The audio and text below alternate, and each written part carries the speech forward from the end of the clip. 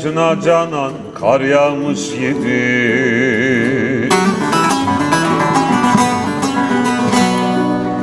Ağrıp duruyor canım kar belli belli.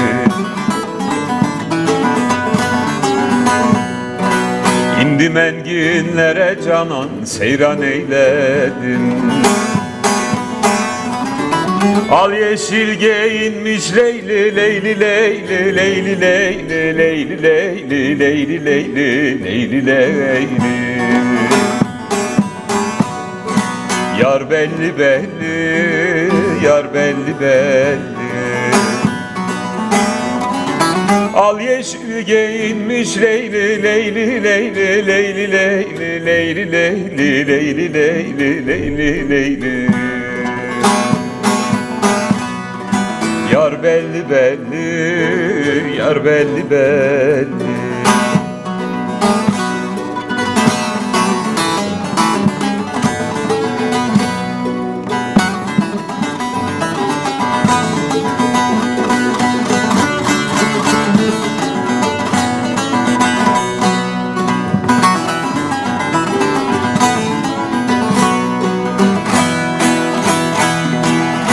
Eyle de selvi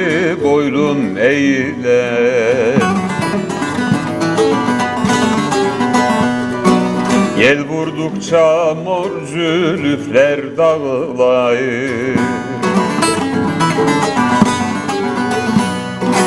Güzel olan nerede nerede olsa sevilir.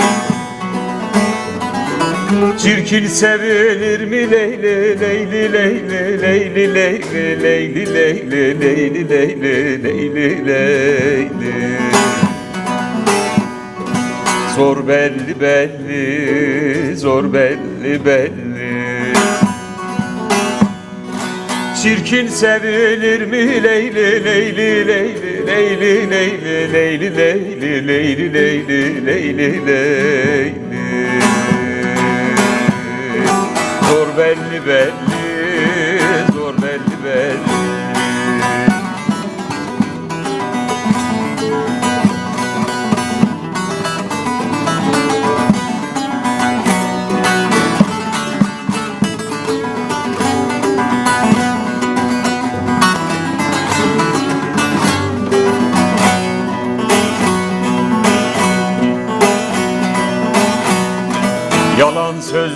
gerçek gibi söyleyen.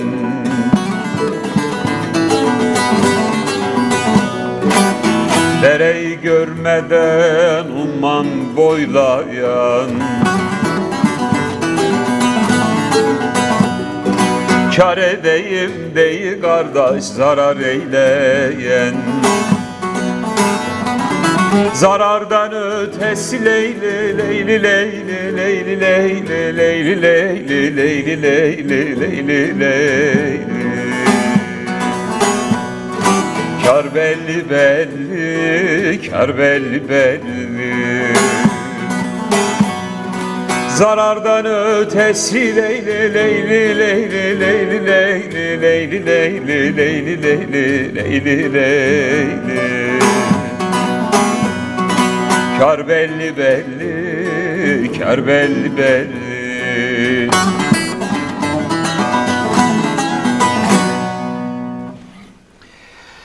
Hoş geldiniz efendim. Merhaba sevgili izleyiciler. Ee, canlı yayında tekrar karşınızdayız. Bir, bir hafta ara verdik. Geçen haftayı pas geçtik. Ee, hem işlerimiz vardı hem de işte birazcık boyunda fıtık tıp dünyasında buradayken biraz yakınayım. Bir doktor görünce hemen derler ya benim bir şuram aynı işte. Şuram doktor, böğrüm ağrıyor filan. Ara verdik birazcık. Ee, geçtiğimiz e, 10-15 gün önce amcamı kaybettim. Sivas'a gittim.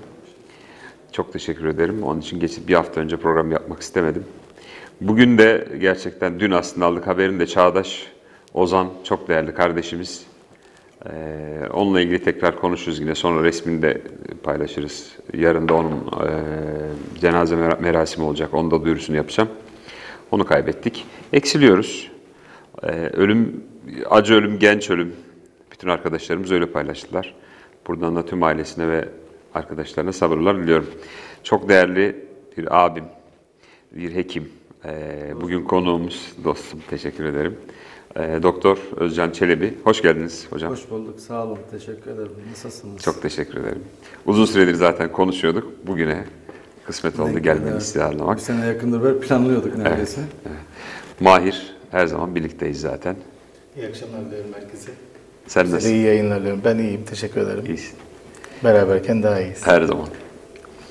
Nasılsınız doktor? Siz eski her, herkese siz soruyorsunuz neren ağrıyor. Siz nasılsınız? Biz size soralım.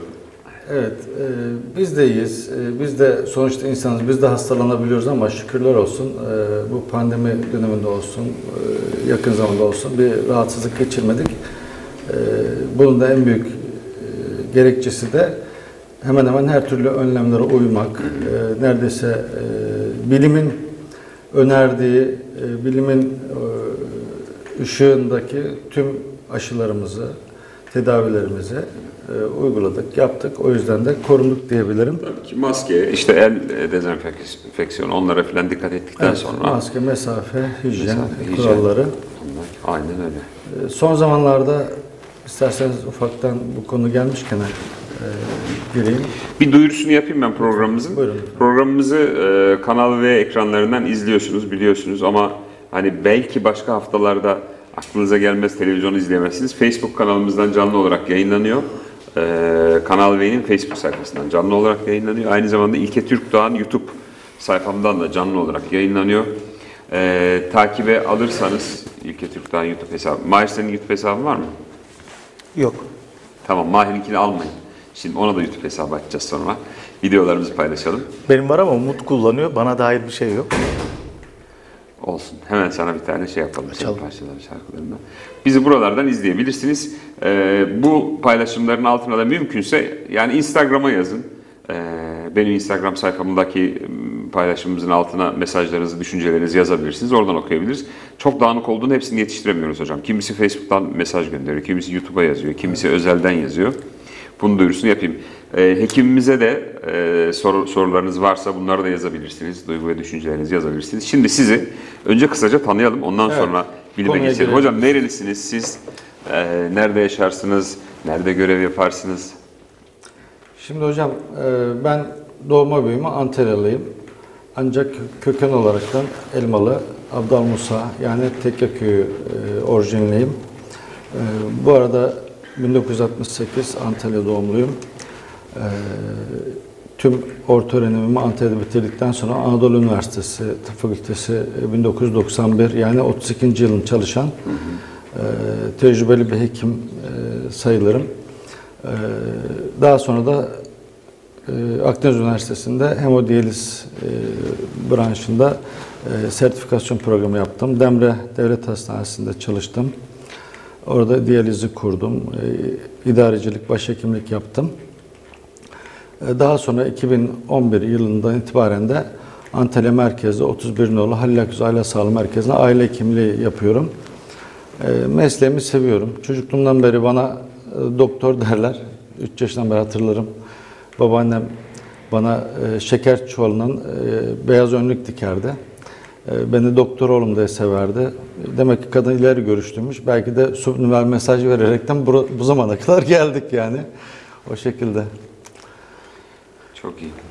Tamamen Antalya'ya hem burada doğup büyüyüp hem de buraya hizmet ediyorsunuz. Çok kutsal da bir görev yapıyorsunuz. Ee, sizi yetiştiren aileniz başta olmak üzere tüm eğitim veren herkese Antalya'da yaşayan bir vatandaş olarak teşekkür etmek istiyorum sizden. Ben teşekkür ederim. Sağ olun. Pandemiyle ilgili konuşuyordunuz, sözünüzü kesmek zorunda kaldım. Ee, zor bir süreçti ama e, yine bilimden bahsediyorsunuz. Tabii ki e, Mahir de e, Diyaliz, di- diyalizde tıp dünyasından yani sağlık emekçilerinden. Ee, tabii ki dünyanın tamamında ciddi bir kriz yarattı ama herhalde ondan da çıkarttığımız dersler vardır değil mi? Yani e, bugün o sistemin daha sağlıklı olması için Evet İlk Hocam ben şöyle yorumlayayım. Ee, bu önemli bir tespit olsa gerek.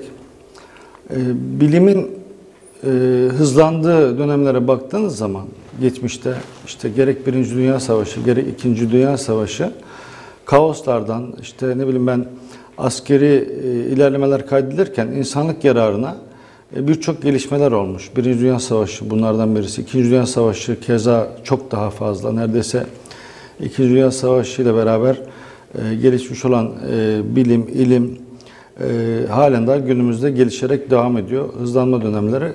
Bu da bizim sağlıkçıların bir savaşıydı. Covid savaşı. Yaklaşık ağırlıkla 2-2,5 yıl kadar devam etti. E, bu süre zarfında e, bilim hızlı ilerledi.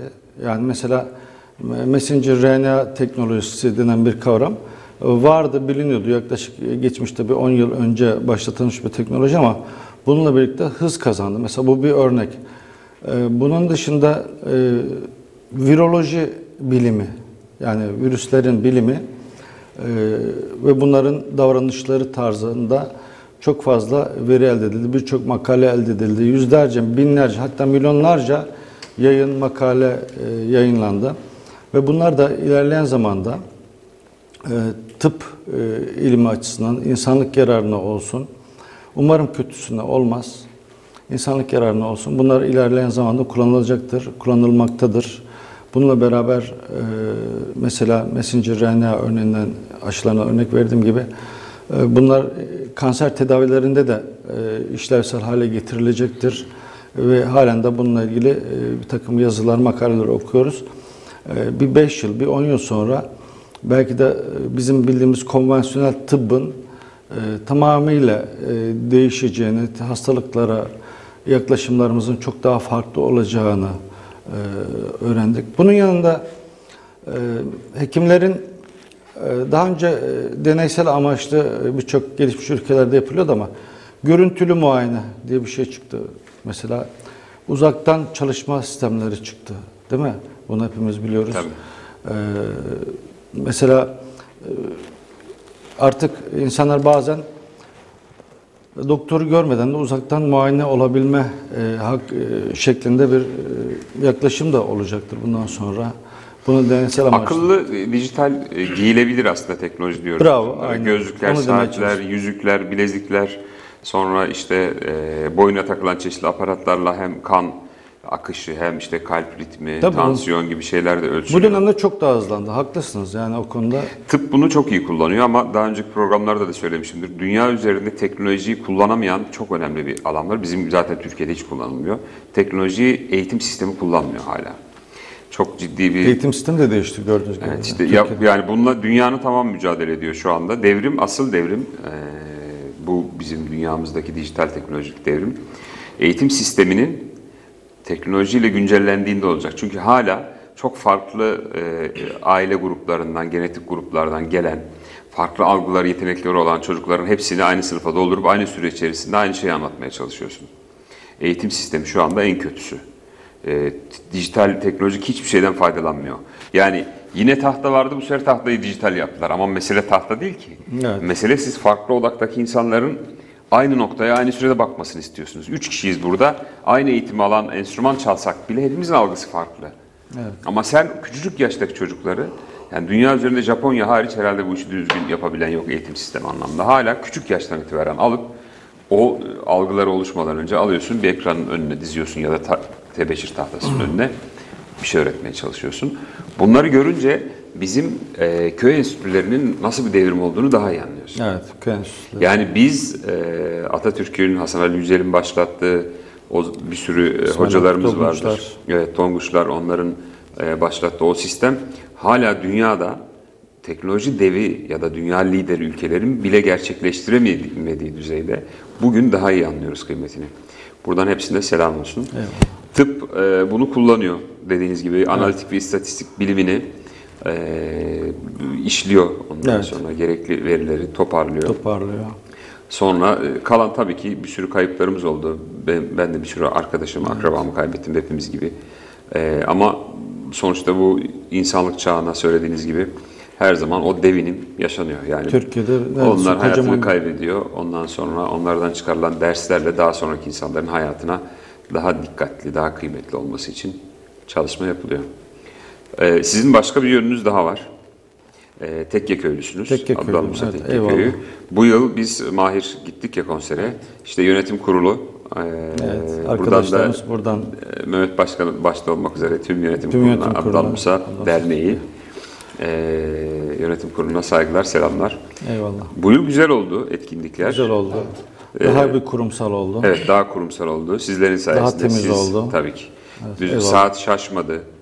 Evet, ben onu e, araya girerek hemen söylemek istiyorum. Her yıl e, hatta uzunca zamanda sahneye çıkamamamızın sebebi gerçekten orada bir organizasyon eksikliğiydi. E, ama bu yıl e, hem İlker hem de diğer başka sanatçılarla programımız oldu. E, gerçekten verilen saat dakikası dakikasına tutarak ciddi bir organizasyondu. Ben de teşekkür ederim. Yani bu denli büyük bir organizasyonda e, hata götürmeyecek e, ve her şeyin dakikası dakikasını işleyecek e, güzel bir sistem yaratmışsınız. Herkesin eline sağlık. Teşekkürler. Sağ olsun. Sizin de katkılarınız yatsınamaz hocam. Teşekkür ederim. Sağ olun. Elimizde hizmet istendi. Bizim için de başımızla beraber gittik. İnşallah bu sene Pire hizmet ettik. Daha iyisi olur umarım. Bu tip yerlerde bir hata yapılıyor yıllarca. Ben bunu şeyle de konuştum. Ee, bizim e, Hacı Bektaş Belediye Başkanı'nın ismini unuttum. Sırdaş. Sırdaş Başkan'la da görüştüm. O hani bir görüşelim nasıl yaptınız çok iyiymiş herkes bahsediyor filan dedi. Basit bir yöntem var aslında. Sevgili izleyiciler sizin de gittiğiniz bu tip böyle çok sanatçının çıktığı konserlerde her zaman az sanatçıları en son çıkarırlar. Şimdi yazlık yerlerde de bu aksamalar, sahneler uzadığı için filan ben çok gördüm Arif Sağ Musaroğlu'nu gece iki buçukta, Gece. üçte dinlediğimizi ve kimse kalmamış oluyor. Bu yıl aslında Mahir ben onu tersine çevirdim. Yani ana sanatçıları protokol dinlesin, kimse ayrılmasın oradan diye ilk başlarda çıkarttım. Kim isterse, başkanım şey de biliyor, eee, Özcan Başkan da biliyor, yönetim kurulundalardı onlar da. Onlara da söyledim, dedim ki bakın kim istiyorsa Antalya'da sahneye çıkmak gelsin. Saat 4'e kadar sahne koyabiliriz. Ses sistemiyle de öyle görüştük zaten. Herkes çıksın sahneye ama programdan önce çıkmayacaklar. Protokol yapılacak. Protokol geldi, işte Özgür Özel geldi, eee, Genel Başkan Vekili, belediye başkanımız geldi. Vali Bey de geldi. Vali Bey geldi, kaymakam geldi, bir sürü e, protokol de geldi, garnizon komutanı geldi. Onlar da hiçbir aksama olmadı. Hatta e, şeyin e, korumaları dediler ki ilk defa bu kadar saati saatine ve düzgün programa geldik. Biz hatta biraz daha kalacağız dediler burada çünkü biz nasıl olsa bu, bu yetişmez diye biz iki saat ayırdık dediler. Buraya dediler biz geziyoruz o zaman. E, işin sırrı burada. Yani asıl sanatçılar önce çıkınca zaten biliyorsunuz insanlar hemen bitsin gidelim işte hafta sonu oluyor zaten geç kalmadan trafiğe kalmadan bir an önce gidelim derdinde Çok da oldukları için. dağılmadı ama değil mi? Dağılmadılar. Böyle olunca kimse de gitmiyor zaten. Bir de Bakıyor, özlem vardı. İzlediler sanatçıları. Onun arkasından daha genç sanatçılar, onun arkasından daha amatörleri sırayla sırayla sırayla çıktı. En son artık program bitti. Hatta seslendik. Ee, bazı sanatçılar da yoklardı. Ee, Onları Evet, evet. bulsak onları da çıkaracaktık. Çok keyifli oldu. Emeklerinize sağlık. Yo, İlkinde de ben çıktım seninle. Son sahneye de ben çıktım diğer e, misafir sanatçılarımızla. E, izleyici kitlesinde bir dağılma yoktu. Oldu. Çok Böyle az. dağılmıyor işte. Evet. Ama sen ilk başta akordu düzgün yapamayan, amatör ruhla sahneye çıkan çocukları koyarsan onlar da diyorlar ki aman bakıyor işte çok var diyor Musa Eroğlu'na işte ne bileyim Arif Sağ, Sebahat Akkiraz'a büyük hocalarımıza çok var diyor. Ne yap bekle boş ver bunu dinleyeceğiz hadi gidelim diyorlar. Gidiyorlar. Biz burada sadece bu yıl Abdal Musa törenlerinde bunu ters çevirdik ve eee, şeyi düzelttik gibi görünüyor. Umarım bu stratejiyle de devam eder önümüzdeki senelerde. Çok çok Çünkü- basit. Sanatçılar da seve seve geliyor. Ben Çok kiminle görüşsem bir kitle, çok geniş bir katılım. Ee, Bence de çok önemli bir organizasyon bu. Ee, Umarım daha da güzelleştirerek devam ettirebiliriz bunu. Evet. Şimdi o sazda öyle var ya o tiyatroda bir kural vardır. O tabanca masanın üstünde konulursa patlar diye. Bilir misiniz onu? Tiyatronun kuralıdır o. Oyunun başında dekorda bir tüfek varsa o patlar. Geçmişte benim de tiyatro deneyimim oldu. Var. Sanatçı tarafınız da çok fazla zaten. Ee, o saz orada duruyor. Bir tane hemen bir türkü söyleyelim. Ee, biz de size Sıra- eşlik edelim. Vakit geldi. Şey beklersen çünkü şey olur. Hemen hemen girelim bir tane. Sonra sen şunu da söyleyelim dediğinde onu da söyleriz. Şimdiden bir hata yaparsak sürçülisan edelim. Emirdağ. Tamam. Bayrak korunu temizlesin. Tamam.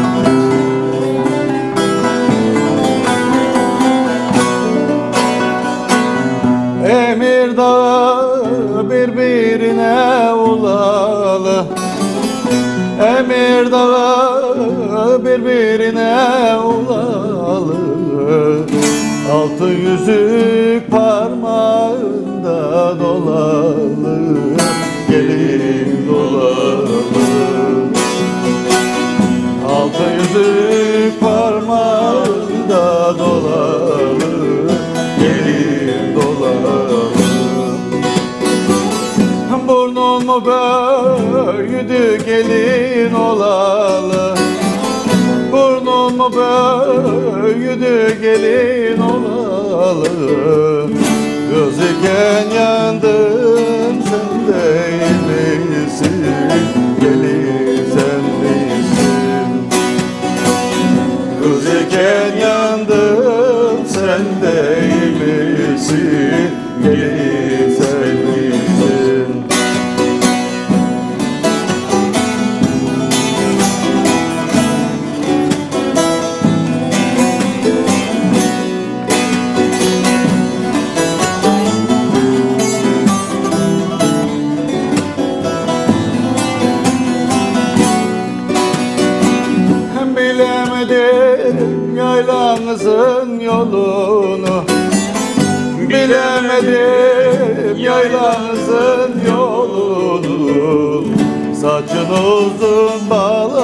bağlasınlar kolunu Gelin kolunu Saçın uzun bağlasınlar kolunu Gelin kolunu her annem seni bana vermezse Eğer annem seni bana vermezse Yemin ettim keseceğim yolunu Gelin yolunu. Yemin ettim keseceğim yolunu Gelin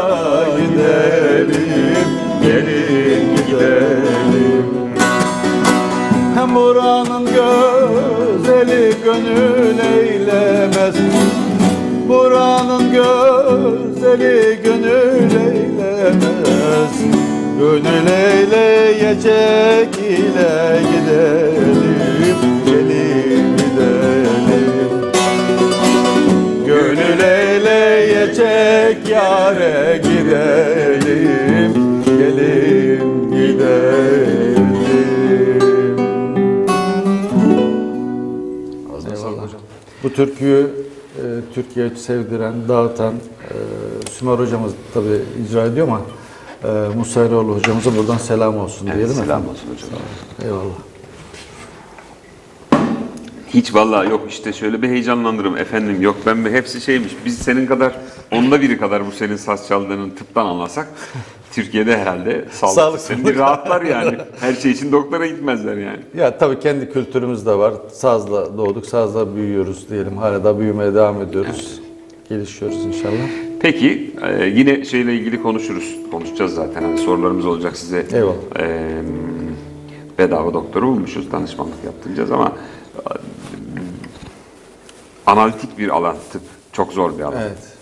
Hani özellikle doktor olmak daha da zor.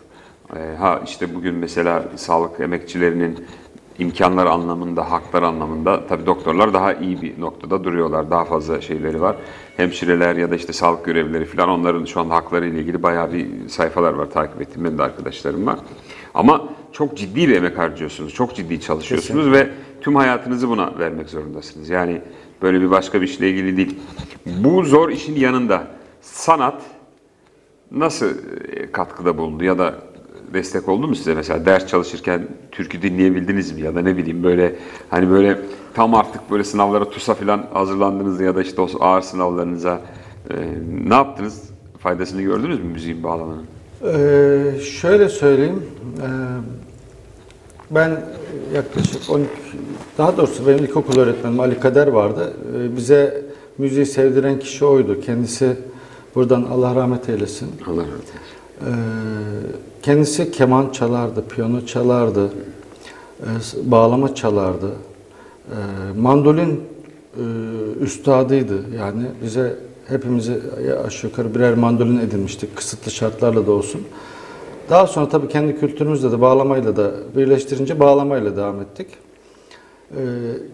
Ben gerek üniversite hazırlanırken, gerekse üniversite okurken e, dinlenmek amacıyla hemen yanı başımda bir bağlamam vardı. Tıngırdardım kaba bir tabiriyle. Ee, rahatlatırdı. Yani e, şöyle söyleyeyim. E, Güzel bir e, kelime kurayım şurada. Ders çalışırken beynimiz kırışırdı. Bağlama ve müzikle de bunu ütülerdik yani düzleştirirdik. Yani yani güzel bir uyku kadar değerliydi ve dolayısıyla konsantrasyonumuzu güçlendirirdi. En azından benim e, böyle bir müziğin katkısı var şahsıma. E, daha sonra e, Mecbur Hizmet'te de bağlama tekniğiyle tanıştım. Orada bir asubay arkadaşımın sayesinde. Önceleri e, Karadüzen mi? Karadüzen şeklinde çalardım. O, o arkadaşımdan sonra da bağlama çalmanın ve o notanın müzikalitesinin ve çok sesliliğinin hayran oldum ve e, daha sonra nota bilgim çok fazla yok ama e, kulaktan e, dolma şeklinde öğrendim. icra etmeye çalışıyorum. E, çok iyi icra ettiğimi düşünmüyorum ancak e, yine de dinleyenlere zevk verdiğimizi düşünüyorum. Ee, Ben kendim bir taraftan zevk alırken karşı tarafın da zevk almış olması e, zevki ikiye katlıyor. Ee, Bu şekilde ifade edebilirim. Sanatın zaten analitik analitik bir dal olduğu. Yani beynin matematik, ondan sonra diğer alanlarla ilgili çalışan kısmının sanatı yönettiği zaten hani tespit edilmiş beyin koordinasyonu açısından. E, çok iyi doktorlar, ressam, çok iyi resim yapan doktorlar var mesela ya da e, tiyatro yapanlar işte müzisyenlerin arasında değil mi? Büyük sanatçıların bugünkü e, işte Ferhat Göçer mesela Ferhat doktor. Göçer en belirgin. Evet bildiğim, bildiğimiz bugünlerde söylediğimiz tıp fakültesini bırakan bir sürü arkadaşımız var bizim hani müzikle ilgilenmişler ama ya da resim yapan ya da tiyatro, sinema oyuncusu olmuş Cüneyt Arkın gibi Evet. onu da saygıyla analım buradan. Ee, bu bir ihtiyaç herhalde. Yani bu kadar beynini sürekli kitapla, yazıyla, hesapla ya da işte bu e, öğrenme ve çalışmayla yoran insanların rahatlamak için kaçtığı bir yayla evli değil mi? Bir de şey var, e, söz var. E, Tıp fakültesinden hemen hemen girerseniz her, her şekilde herkes mezun olur. Ara sıra doktor mezun olur gibi. Değil mi? Öyle mi? evet. Yani aslında burada şey var. e, Çok başarılı ve sivrilen hekim arkadaşlarımız kastediyor hakikaten. Yine ben üniversitede okurken 7-8 tane arkadaşımın mesela müzik dalında çok ilerlediğini ve şu anda da önemli orkestralarda çalan, söyleyen, daha sonra e, tiyatro için ayrılan arkadaşlarım vardı, öyle hatırlıyorum. E, o bir aşk, e, sanat aşkı ama meslekle beraber paralel yürüdüğü zaman sanki çok daha sağlıklı oluyormuş gibi geliyor. Yani, Öyle. Bizim mesela Okan Cinemre beyin cerrahı. evet. Sivas'tan benim de hayatıma dokunan Anadolu Yakın Sanat Ortamı'nın evet. kurucularındandır. Orada hem Burhan Hoca e, psikiyatri alanında bunlar çok başarılı insanlar hem de sanat alanında hala mesela Okan kendi şeyini kurdu. Tiyatro, Tiyatrosu, e, kültür topluluğunu oluşturdu. Sadece tiyatroda değil. Buradan ona da selam olsun. Eyvallah. E, her yayın döneminde bir kere zaten alıyoruz Okan Hoca'yı. O da çok Hak ediyor da yani. net bir örneği. Beyin cerrahı. Başarılı bir cerrah. bir Evet, cerrah iyi bir cerrah. Antalya'da da bilinen bir cerrah. Bir yandan da tiyatro devam ettiriyor yani. Hem oyunculuk anlamında hem de bunu yönetmek, bir sürü çocuğu sevdirmek çok enteresan bir şey. Tiyatro sanatta sanki e, daha bir zirve gibi geliyor bana çok her şey. Müzikal öyleymiş hocam. Müzikal. Ben e, O da Dik var. Tarih Coğrafya Fakültesi'nde Nurhan Karadağ, rahmetli o da, Ee, onun birçok oyununda böyle kenar rollerde falan bulundum. Tiyatro binasıyla aynı yerdeydi. Bizim felsefe bu binadaydı. Tiyatro binası karşı tarafında aynı bahçenin içindeydik. Ben de hani bağlama çaldığım için biraz da böyle artikülasyon, diksiyonum, ses tonum uygun olduğu için rollerde falan gelsen yapayım bakayım diye Farabi Salonu'nda oynamışlığım vardır orada. Ee, yıllar sonra devlet tiyatrosuna başladım. 2009'da Ankara Devlet Tiya- Tiyatrosu'nda oynadım önce. 3 yıl. Sonra burada e, Antalya Devlet Tiyatrosu'nda iki oyunda oynadım. Nuran Karadağ'ın son yönettiği oyunda da ben oynadım. Ahi Evran, Ahi Derviş'in oynadım orada. Ee, Yakışır. Konuştuk zaten. Onu böyle bıyık falan da bırakmıştım o zamanlarda. dedim ki hocam eğer dedim beni müzikal tarzı bir oyunda hem müzik vardı hem işte e, şey vardı. Ben müziklerinde yapmıştım oyunu. Dedim ki eğer beni Farabi Salon'da bir müzikalde oynatsaydın ben bırakırdım felsefeyi, tiyatroya geçerdim. Müzikal tarz, tiyatrodaki müzikal tarz, dünyadaki tüm sanat tarzlarının birleşimi. Evet aynen. Müzik, tiyatro. Makyaj var içinde Var. ileri seviyede. Heykel var. Kullanıyorsun dekor anlamında bir sürü sanat işte. Sonra mimari var. Müzik zaten var. Resim var. Oyunculuk var. Dans, var. Aklınıza gelebilecek tüm sanat dallarının şimdi modern tiyatroda özellikle hologram sanatı yani dijital teknolojinin gelişimlerinden de yararlanıyorlar. Üç boyutlu ses ondan sonra hatta bu işte koku, su, artık şey dünyadaki çok çok e, enteresan işler yapılıyor müzikallerde. Yani tabii ki diğer tiyatro alanlarında da var ama müzikalde müzik de olduğu için beni çok çekti. Çok hoşuma gitmişti. O da iyi ki yapmamışım boş ver bak bunların hepsi oyuncu demişti bana. Sen ne geldin filan demişti Allah rahmet eylesin. Ee, Mahir artık sesin iyiyse bir tane türkü söyle bize. Söylerim tabii ki. Ben de Ne? o zaman e, hocam Musa Eroğlu'dan devam etti. Biz neredeyse yan köylü sayılırız. Evet. E, ben de Musa Eroğlu'dan devam ettim. Karacaoğlan'ın e, ama Musa Eroğlu'dan bildiğimiz değerlenmiş Mut bölgesinin bir şu yüce dağların kara eridi bir tahtacı mengesidir. Tamam. E, si mi mi mi nasıl, Nasıl yapalım? istersen. Mi'de sorun olur mu? Mi'de sorun olmaz. Si, si yapalım sorun olmaz. Si'de olur ama mi gibi olmaz diyor ya şey diyor ya. Tamam si olsun. Si.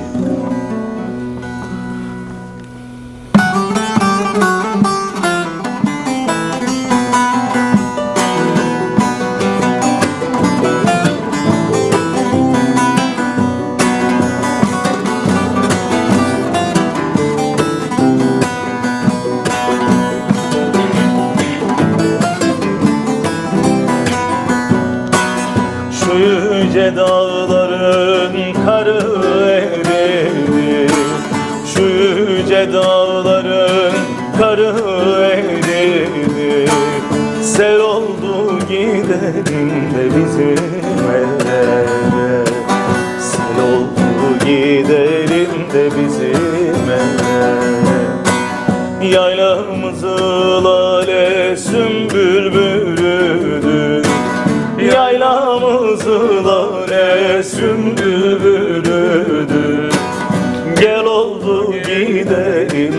bizim ellere Gel oldu gidelim de bizim ellere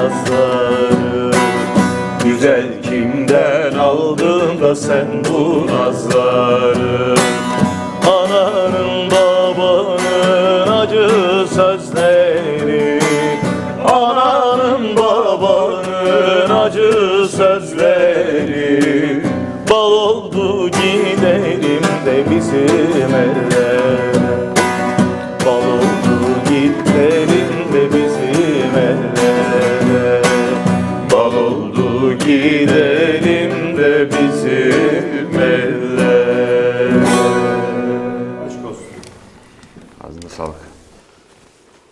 Kocaeli. Şimdi bir eleştiri varmış bize de. Şimdi ben hep aslında her tarzda söylüyorum. Yani şöyle söyleyebildiğim, sev müzik dinlemeyi seviyorum ben. Ee, o katıldığım yarışmada da işte türkücü dediklerinde ben türkücü olmak istemiyorum. Ben müzisyen olmak istiyorum. Müzik kendi e, coğrafyasının, kendi toplumunun, kendi kültürünü, müziğini iyi icra edebilen ama iyi bir solist olmak istiyorum. Gerektiğinde yabancı dilde de okuyabilmeliyim. Arabesk hariç. Ee, onu okumamaya çalışıyorum zaten. Doğru da bulmuyorum. Her tarzda uygun olan okumaya çalışmalıyım diyorum ama ağırlıklı olarak değiş söylüyorum tabii. Şimdi Mahir de Bozlakçı hocam. O ya bozlak girelim, bir bozlak açalım, bir bozlak filan derken biz fazla bozluğa kaptırmışız biraz. Şimdi biraz değiş söyleyin diye eleştiri geliyormuş. Gittin çocuk artık değiş söylemiyor diye Mahir'e demişler. Ne diyorlar Evet, Mahir? yani şöyle, e, öncelikle tabii ki arkadaşlarımın ismini vermeyeyim. Bu birka, birkaç kişi birden olunca ben sana söyleme gereği duydum tabii ki. E, benim senin tarzını değiştirdim ve seni bozduğumu söylediler direkt yüzüme. E, öyle bir şey yok arkadaşlar. Hani ilki tamamen kendi tercihiyle ve isteğiyle e, uzun bağlama da çalabildiği için bir de bu bölgede biz Musa Eroğlu, Neşet çok sevdiğimiz için beraber olunca belki böyle bir şey oldu ama e, ben kaynaklı bir şey değil inanın. E, İlke bozlakları da güzel söyler, çalar E, ama değişleri de tabii üstüne yoktur. Böyle bir eleştiri geldi. Haklısınız, olabilirsiniz. Yani e, herkesi koyduğunuz bir yer var. İlke sanırım sen artık oraya tamamen oturmuşsun arkadaşım. Şey yok çünkü. Mesela e, bu resimleri bir uzaktan görebilir miyiz e, Yunus Emre? Şu bu yaptırdığımız şeyleri, arkadaki panoları. Geniş alabilirsen ben anlatayım. Şimdi Mahir'in arkasındakiler hayatını kaybedenler. E, Aşık Veysel, Neşet Ertaş, Mahsuni Şerif, e, Davut Sulari. Ondan sonra Ruhsu var aşağıda. Mulis Akarsu. Sonra Talip Özkan, Nesim İçimen, Hasret Gültekin ve e, Hisarlı Ahmet.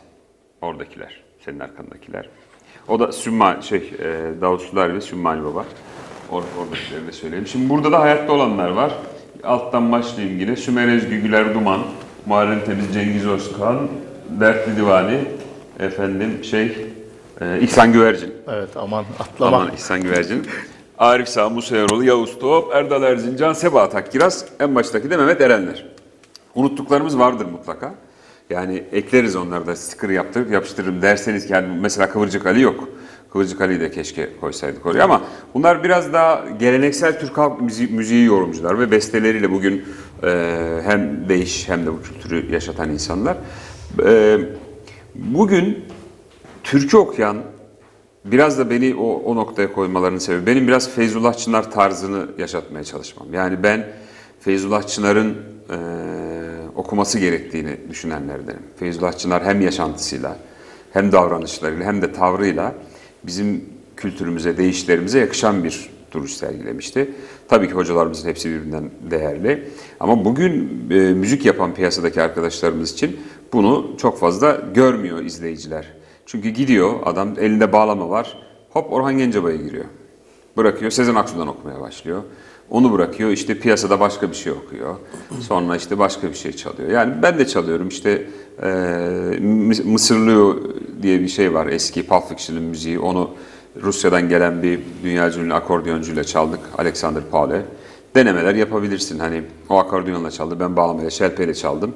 Şimdi işte Rusya'da 40 bin izleyiciye ulaşmış iki gün içerisinde. Ee, ama sahnede yani bunu sunumunu yaptığın noktada kucağında bağlama varsa, kısa sap bağlama çalıyorsan insanlar senden değiş dinlemek istiyor. Aşık Veysel, Mahsuni Şerif, Musa Eroğlu dinlemek istiyor. E sen bunu alıp da başka şeyler çaldığında hemen ne kadar iyi icracı olursan, ne kadar güzel sesin olursa hemen seni alıyorlar bir kenara koyuyorlar. Onun için o tavır için aslında benim hani çok iyi yorumcu olmam, çok falan böyle bir şey olduğunu düşünmüyorum. Onlar bu tavır tavır ve Ben tarzla ilgili yok estağfurullah. bu kadar adamın içinde bunu asla ben iddia edemem. Çok değerli hocalarımızı dinledik. Ee, onların yanında Onlar da bu yoldan geçti hocam. Geçti ama şöyle bir şey, e, çok ciddi emek verdiler. Biz çok kolay yaşıyoruz, bak söylüyorum. Orası. Yani saz bulabiliyorum ben. Param varsa istediğim saz alabiliyorum. Yoktu o zaman bu adamların müziği yaptıklarında. Sırtında bir Davut Sulari, bir sazla, atın sırtında e, dünyayı dolaşmış. Bulgaristan'dan Şam'a kadar, Azerbaycan'a kadar. Türkiye'yi zaten her yerine gitmiş, gezmiş. Aşık Veysel o işte e, haliyle ondan sonra e, Ruhisu bir sürü zorlar rağmen sırf sanatçı olduğu için öldü burada biliyorsunuz. Tedavi olabilecekken yurt dışına gönderilmedi. E, şimdilerde el üstünde tutuyoruz onların hepsini arar olduk. Bambaşka işte ama e, yani Muğlis Akarsu yakılarak katledildi. Bariz bir şey. Şimdi bu adamların yanında biz bağlama çalabiliyoruz, türkü söyleyebiliyoruz diye onu iddia etmek çok şey değil ama teşekkür ediyorum onlara. Ama şu eleştiriden sonra tabii biraz düşündüm bunu. Şu konuda gerçekten hak verdim. Şimdi biliyorsunuz popüler müzik, halk müziğinin içerisindeki popülarite bile yıllar içerisinde değişkenlik gösteriyor. Şu ara Ankara müziği kültürü ve bozlak iç içe girmiş durumda düşünülüyor. O yüzden buna ulaşılabilirlik e, daha fazla. E, Gerçekten e, bu eleştiriden sonra gerçekten oturup düşündüm. Gerçekten değiş çalıp söyleyebilen, e, bu tarza hakim çok az insan kalmış. Antalya'da dinleyeceğimiz bir mekan da yok açıkçası. Böyle de bir sıkıntı var. Yani bir Orhan var. Yani bir şöyle- de İlyas kendi bestelerini söylüyor. Gerçekten şu anda herhangi bir restoranda ya da bir kafede insanların hadi bugün gidelim, hadi birkaç türkü dinleyelim, değiş dinleyelim diyebileceği, oturup e, birkaç yudum arkadaşlarıyla bir şey içebileceği hiçbir yer e, sanırım yok. İki yer ver ben seni götürürüm. Biliyorsunuz zaten. Şöyle Aset Gültekin'den istemişti. Ee, Murat Kars abim Bergama'dan izliyor. Yorum yazmış zaten. YouTube'dakileri biraz okuyayım. Ondan sonra bir Hasret Gültekin'den bir değiş okuyayım ben. Bu kadar lafın üstüne. Haklılar yani. Efendim Güney Demircili yazmış. Ankara'dan selamlar. iyi yayınlar. Teşekkür ediyorum. Kemal Türk'ten iyi yayınlar koç. Teşekkür ederim amca. Caner Özel Tekkeköy'e Abdal Musa'dan selamlar. İyi yayınlar demiş. Teşekkür ediyoruz. Bizden de selamlar. Mehmet Özel iyi yayınlar, canlar, başarılar dileriz. Abdal Musa Sultan'dan aşkı niyazlar. Bizden de aşkı niyaz olsun. Başkanımız, dernek başkanımız selamlar. Ve işte bizim Bozlak'ta e, demiş Güney Demircili gereksiz bir eleştiri olmuş. Sanki şöyle olmuş e, aslında yani bunu demelerinin sebebi şu. Şimdi uzun sap bağlama ve elektro e, bağlamayla çalındığı için Bozlaklarda şeylerde gerçekten çok iyi Bozlakçılar var. Tabii ki. Okuyanlar. Ama bu işi e, Muharrem Ertaş gibi Çekiç Ali ve Hacı Taşan gibi Taşa. söyleyen yok. Bakın Neşet Ertaş da sonraki jenerasyon kuşak. Ama bu üçü gibi okuyan yok. Yani bir, bir tane adam var Türkiye'de bugün benim arkadaşım olduğu için Fatih.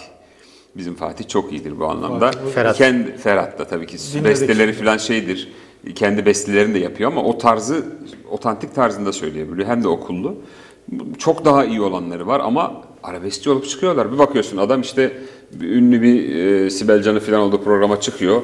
Güya Neşet Ertaş'ın devamı olan adam. Evet. E, döne döne arabesk okuyup sonra Neşet Ertaş'la ismiyle ünlenip arabeskçi olup tarzı, giyinişi bir başka. Bir değişik değişik adamlar.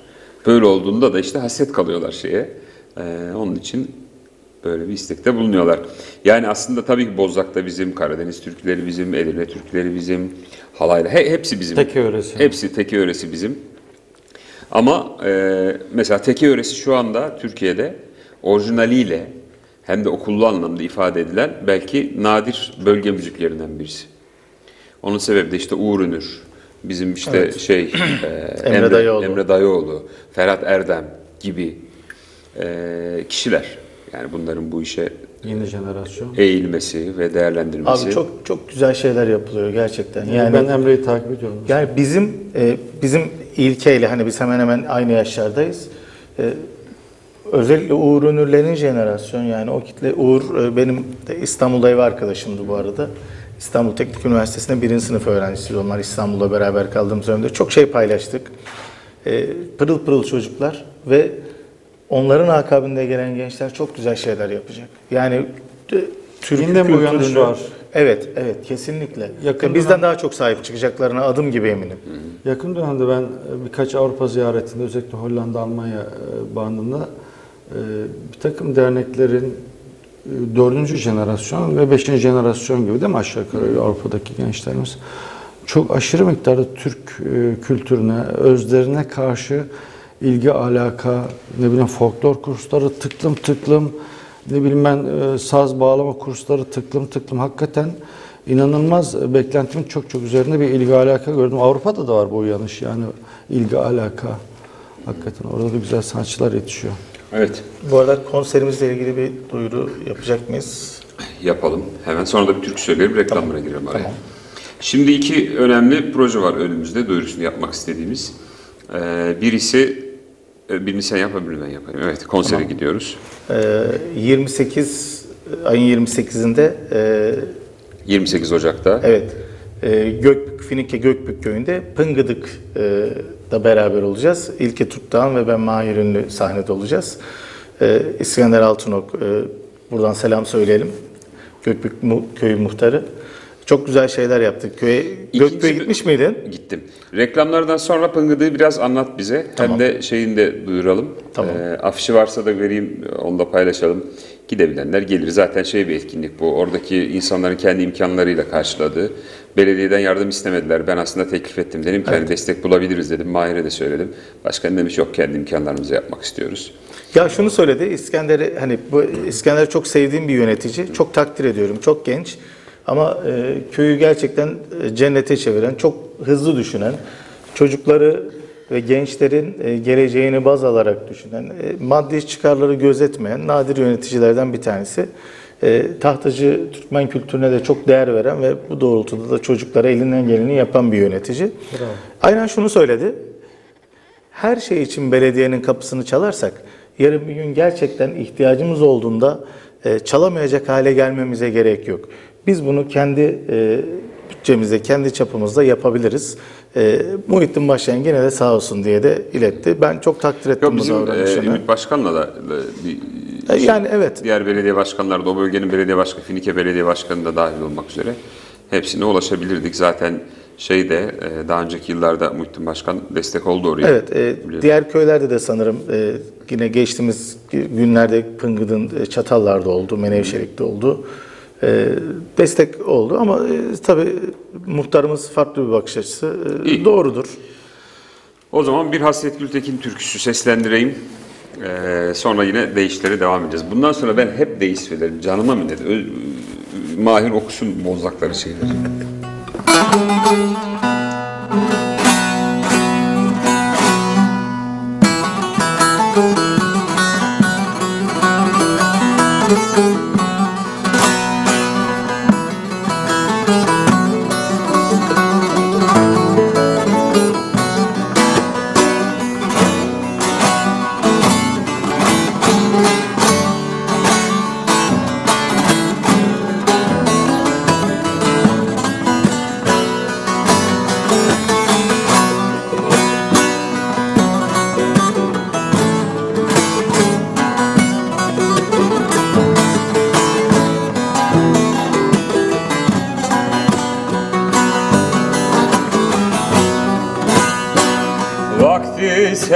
Seherde açılır perde.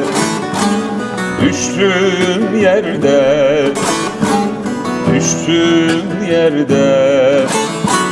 Derman sendedir. Düştüğüm yerde Düştüğüm yerde. Derman sendedir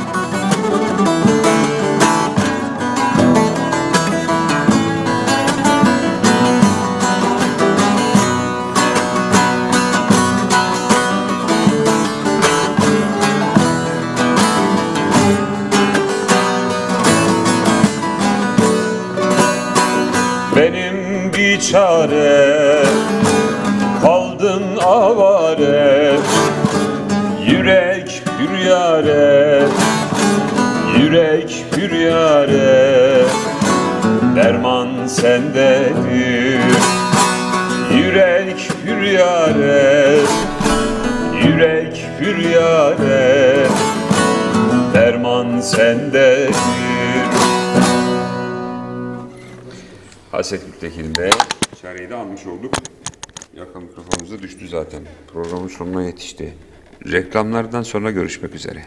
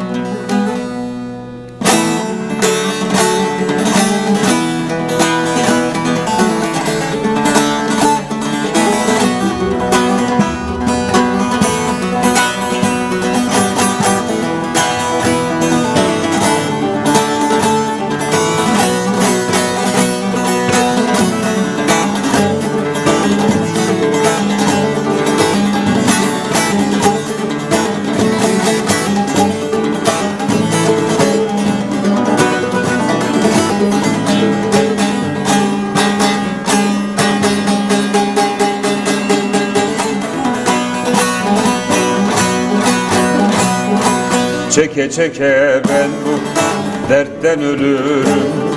Seversen Ali değme yareme. Ali'nin yoluna serin veririm. Seversen Ali değme yareme. Ali'nin yoluna serin veririm. Seversen Ali değme yareme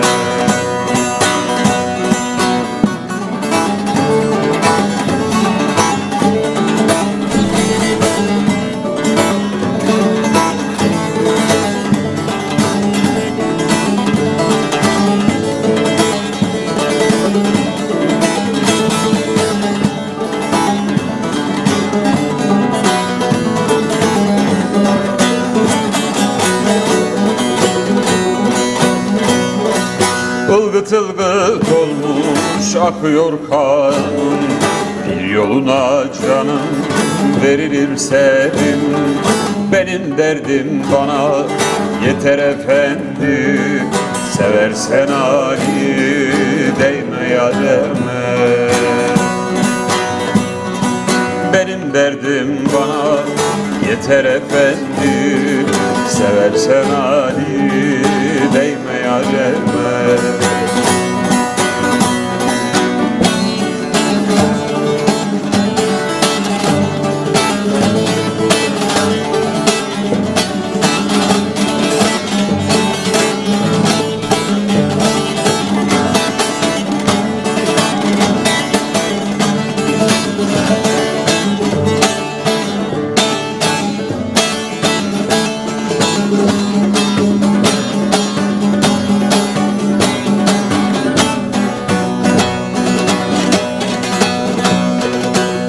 senin değil Konar göçersin Körpe kuzulardan Nasıl geçersin?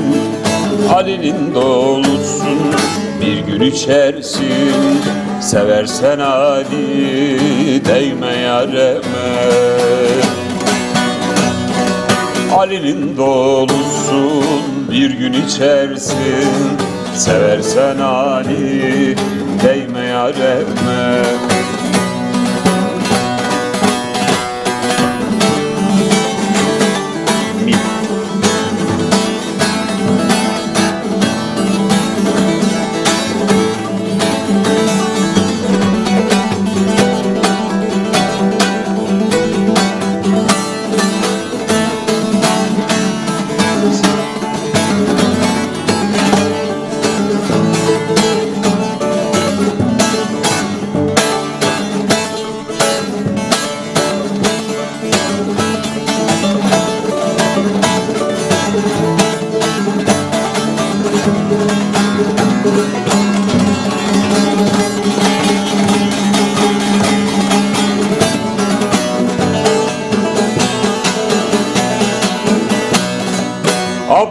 Sultanım deftere yazar. Hilebaz olanla olur mu pazar. Bir melhem çalmazsa yaralar azar. Seversen Ali değme yareme. Bir melhem çalmazsa yaralar azar. Seversen Ali yareme dost Değme yareme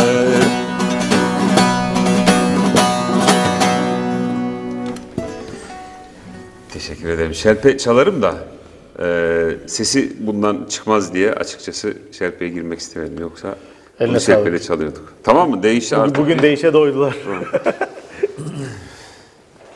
Değiş deyince değil mi?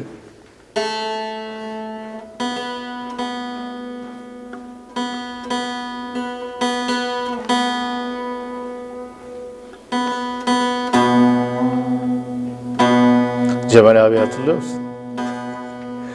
Saz kıran. Evet Saskıran Cemal. Bir Ne de çekiyor, ne çalardı bir bakardık iki tel kalmış.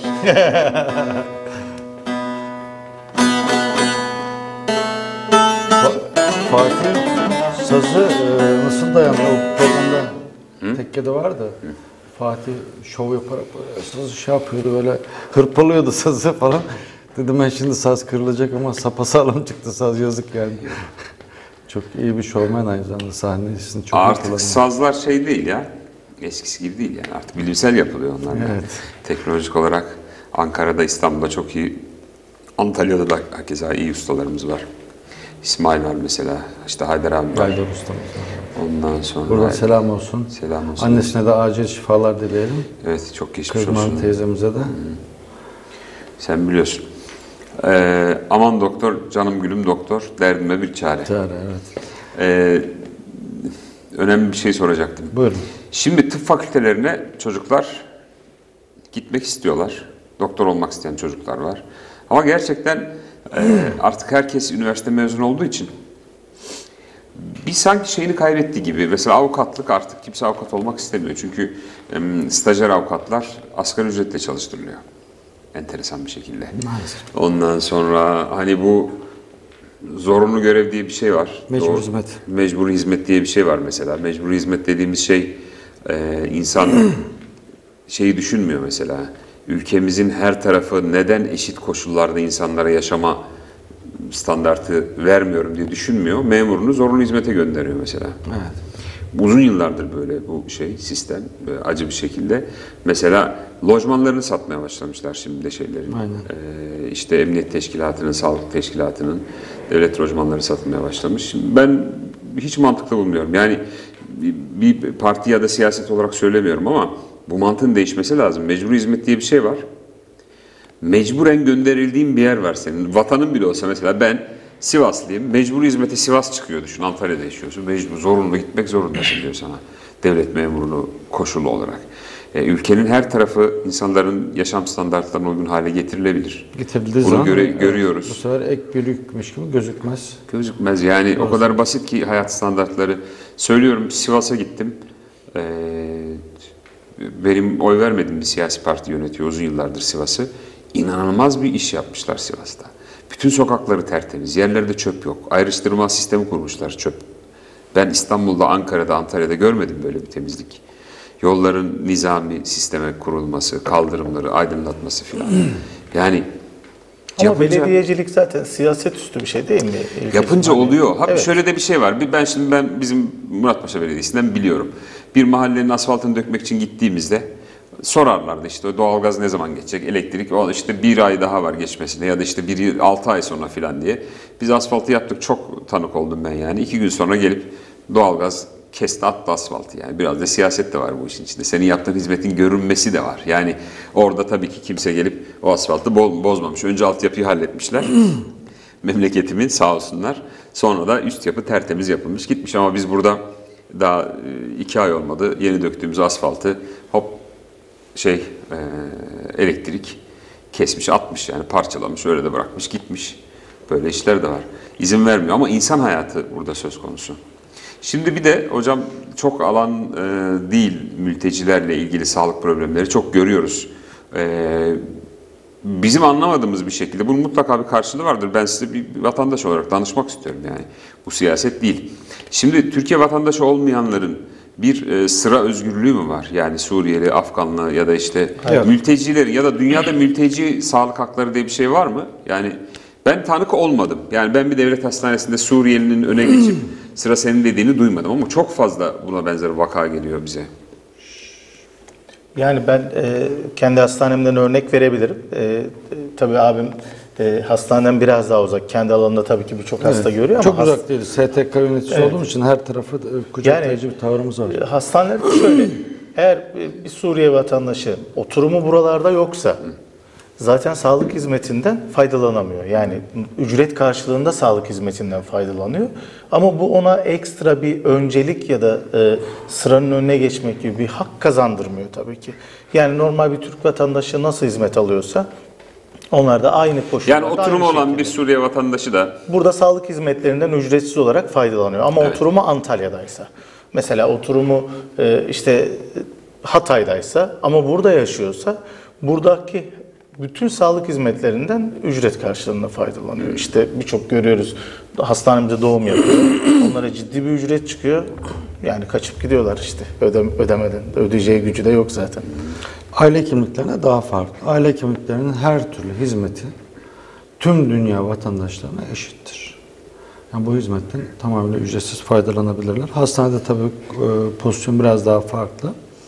Yani her türlü aşı, her türlü e, muayene, yani bir Türk vatandaşından farksız bir şekilde faydalanabilirler.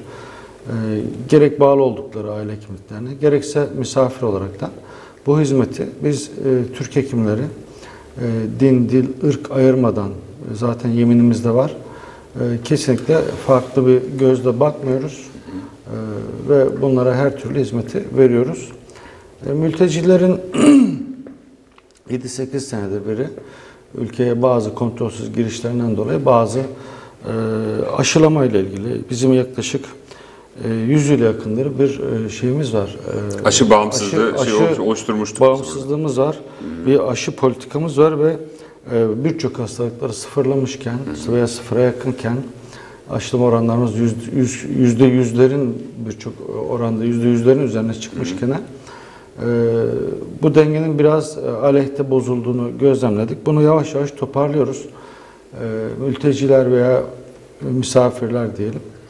E, Bunlar da e, mevcut sistemimize ayak uyduruyorlar. Çok fazla aşı karşıtlığıyla e, karşılaşmıyoruz. İşin doğrusu söylemek gerekirse çok ciddi bir uyum içindeler. E, Şu anda bu sorunlar yavaş yavaş aşılıyor. E, Tabii ki bu ekstra bir efor gerektirdi. Türk e, Hekimlerine. sağlıkçılarına, hekimlerine demeyelim, tüm sağlıkçılar, hizmetlisine kadar bizim paydaşlarımız. E, Şu anda bu sorunlar da yavaş yavaş aşılıyor. Aşılama programlarımız e, gayet başarılı gidiyor. E, Ufak tefek problemler çıkabilir. Bunlar normaldir. Ama şunu söyleyeyim, biz e, en az Avrupa kadar mültecisine, misafirine, e, geçici misafirlere, herkese eşit bir şekilde ve en iyi hizmeti e, veriyoruz. Kesinlikle dediğim gibi her türlü e, hizmeti veriyoruzken ırk, dil, din, ırk ayrımı yapmıyoruz. Siz eski aile hekimleri, Antalya Aile Hekimleri Dernek Başkanıydınız. Bir önceki, evet. Bir önceki. Şimdi yönetim kurulundasınız. Yönetim kurulunda. Ben Daire Hekimlikler Derneği'nde 5 dönemdir yönetim kurulundayım. E, Aynı zamanda eğitim komisyon sorumlusuyum. Kongreler, e, sempozyumlar, işte basınla ilgili işlerde, webinar yayınları, özellikle pandemide birçok yaklaşık 20 civarında webinar yayını yaptık. E, Son günlerde de offline webinar yayınları yaparaktan e, Türk tıbbına ve Türk tıbbının tanıtımıyla alakalı e, gerek antibiyotik dirençleri birçok konuda kapalı offline yayınlar yaparaktan e, bunu tüm ulusa mal ederekten yayınlıyoruz. Şöyle bir bilgim var. Ee, dünyanın farklı, e, daha işte farklı teknolojileri sahip hekimlerinin de Türkiye'ye ilgi duyduklarını biliyorum yurt dışından. Düzenli olarak gelip buradaki özellikle e, mültecilerin yoğun olduğu yerlerde incelemeler yapıyorlar. Çünkü kendi bulundukları alanlarda olmayan hastalıklar, ondan sonra başka tıp alan, mikrobiyoloji anlamında e, başka şeyler var. Bu, çok fazla milletten karışım olunca burada şimdi bir melez hastalıklar ortaya çıkıyor ve bu tip ülkelere ilgi gösteriyorlar. Sınır tanımayan doktorlar e, Daha ziyade Türkiye'den daha ziyade e, daha ziyade Afrika ve gelişmişlik düzeyi daha düşük ülkelerde e, Gönüllü olarak gidiyorlar. Gönüllü olaraktan var öyle bir hekimlik yaklaşımı var. Sadece hekimler değil aynı zamanda diğer sağlık hizmetlerindeki sağlık hizmetlerinin hepsini bir bütün olarak alıyoruz. Ee, sen doktor dedin ya çocukken bana doktor derlerdi. derler. Ben de herkese doktor derim. Ne haber doktor derim. Nasılsın doktor derim. Tamam mı? Şimdi bir arkadaşım da İstanbul'da beni doktor diye kaydetmiş. Bir gün beni aradı doktor dedi. İlhan ondan sonra pardon Önder. Önder dedim ben İlke. Lan doktor değil misin sen dedi kapattı. Sonra aradı yani doktor diye kaydetmişim seni dedi.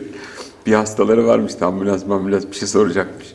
Yani Herkes- kanki der gibi e, doktor. Evet, ben ne haber doktor Adamım falan, falan der. Adamım işte kuzen muzen derler, işte ahbap derler, ne bileyim evet. birader derler. Babacan derler. Ben de ne haber doktor derim yani doktore şeyde vardı. eee, doktor hmm, Cem dünyanın ilk yok. o, o, da, o da orada doktor diyor. O da doktor diyor. ama ben şey izlediğimde eee, ilk köle ayaklanmasını yapan neydi? E, Martin Spartaküs. Spar- ha. Ha, Spartaküs Roma dizisinde bir doktor tiplemesi vardı siyahi. Ona doktor doktor doktor diye çeviriyorlardı. Ben de doktor demeye başladım herkese. O doktor diyordu şey. Çünkü Spartaküs hocasına öyle kaldı işte. Ben de millete doktor diye diye. Beni doktor diye kaydetmişti Önder. Kulakları çınlasın. Şimdi e, şeyi bir resmini verelim. Hem de yarınki duyuruyu yapalım. Sana zahmet Yunus Emre. Çağdaş Ozan kardeşimizin Çağdaş güzel kardeşim devrin daim olsun, ruhun şad olsun, ailesine, bütün arkadaşlarına sabırlar diliyorum. Çok güzel adamdı ya Mahir. Yani şöyle hani sorunsuz, kimseye derdi olmayan, işini yapan, böyle gönlü, gündüz çalışan. gönlü güzel bir adamdı. Ekstra çalışıyordu. Koçtaş'ta şeyde evet, bir evet. e, isim. topçularda. Evet evet burada bir yapı malzemesinde çalışıyordu. Yani hep hayatında pozitif olan, yani gece gündüz çalışıp bu yorgunlukla suratı bir kere asılmayan nadir arkadaşlardan birisi. E, aynı sahneyi çok paylaştık biz de. Birçoğumuz zaten paylaşmışlar. E, ben sabah haber aldım, çok üzüldüm. Biz akşam duyduk. Zafer abi söyledi. O da Amasyalıdır Zafer Menekşe. Ee, dedi böyle böyle Çağdaş dedi ya dedim boş versin. Bir baktım daha yeni paylaşım yapmış. Dedi zaten yarım saat önce hayatını kaybetmiş. Yarın saat 11'de sevgili izleyiciler Kızlar Cemevi'nde e, hizmeti görülecek. Ondan sonra Antalya'ya e, defnedilecek, sırlanacak. Gelmek isteyenler saat 11'de Kızılay Cemevi'nde olacağız. Arkadaşımızın son görevimizi yerine getireceğiz. Tekrar ailesine ve sevenlerine başsağlığı diliyorum. Ruhu şad olsun. içinde olsun. Evet. Bu e, kalp krizleri, işte pıhtı bilmem ne işleri insanın aklına bin türlü senaryo getiriyor ama artık bunları O konuda bir açıklama yapabiliriz. yani iyi olur çünkü e, özellikle dikkat ettiğim şey şu, bu aşı vurduktan sonra aspirin kullanın işte çocuk aspirini kullanın filan gibi şeyler duyduk. Kan sulandırıcı.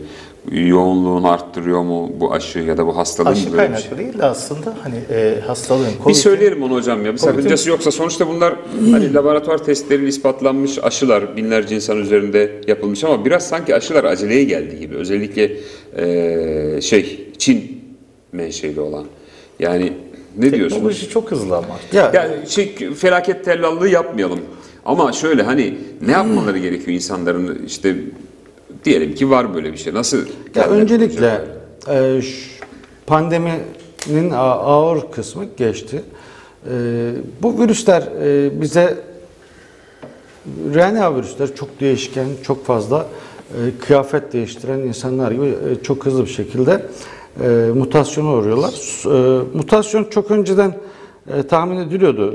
E, yani kötüye evrilmekten daha ziyade iyiye evrileceği yönde ki öyle oldu zaten. Omikron varyantı ve onun alt tiplemelerle beraber şu anda baktığımız zaman bir e, şeye benzetemiyoruz. Yani bu bir e, Covid'dir diyemiyoruz. Hepsi neredeyse bir gribal enfeksiyon şeklinde. Neredeyse bulguları, semptomları aynı. Ancak testlerle ayırt edebiliyoruz. Ee, Şimdi şöyle diyelim. e, Covid'in verdiği insanoğluna verdiği zararla vücuda ve özellikle damar sistemine verdiği zararla veya diğer uç organlara verdiği zararla e, aşının verdiği zarar gibi kıyasladığımız zaman aşının e, net bir şekilde zararı henüz daha ispatlanmış değil. Ama e, Covid'in kendi verdiği zarar çok çok daha fazla, yıllarca kalıcı hasarlar bırakabiliyor.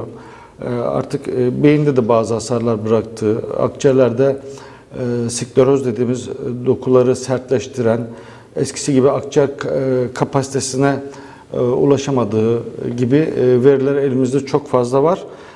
Ve koagülasyon yani damar pıhtılaşmasıyla alakalı bir takım sorunları kanıtlanmış vaziyette. Ancak aşıların böyle bir şey yaptığına dair e, çok ciddi elimizde e, henüz daha veriler yok.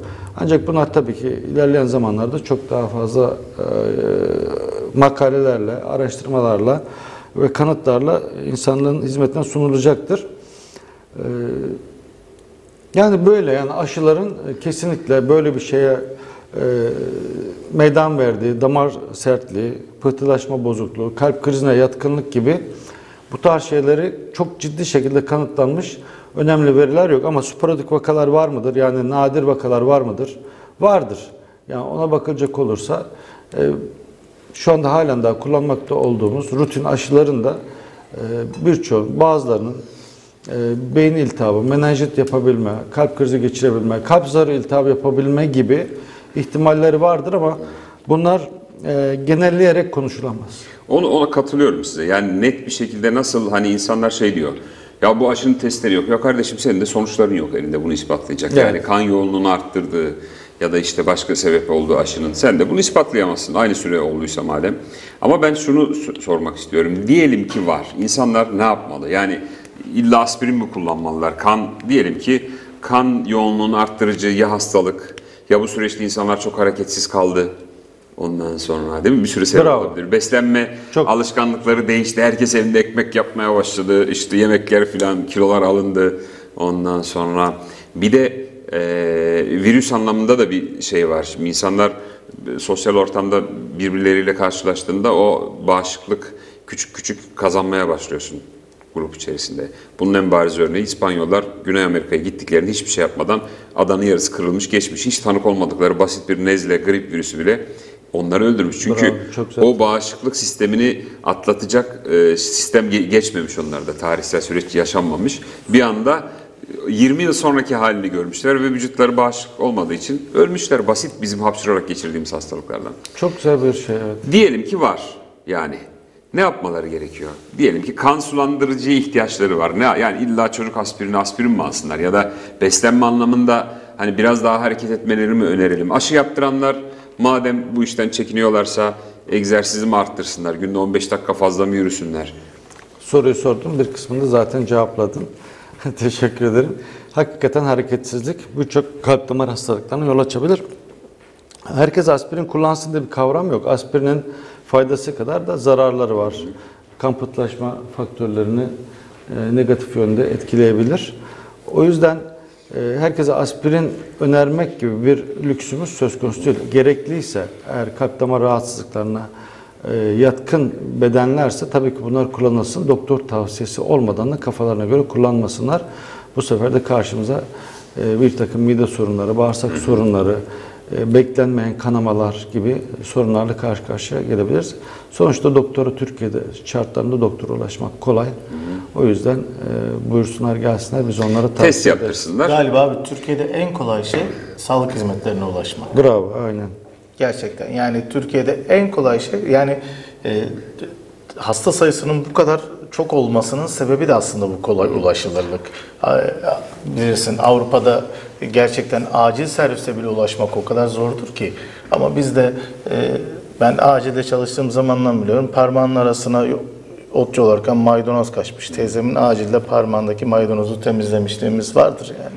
Ya bakın biz de halk olarak Sonra size Perşembe Pazarı hastalığını anlatayım.